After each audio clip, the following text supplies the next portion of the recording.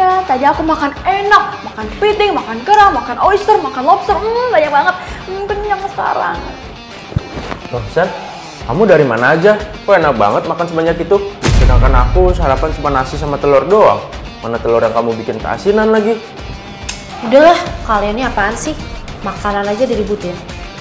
Gimana kalau nanti malam aku traktir kalian berdua? Ini sebenarnya ada apa sih? Salani sebenarnya siapa?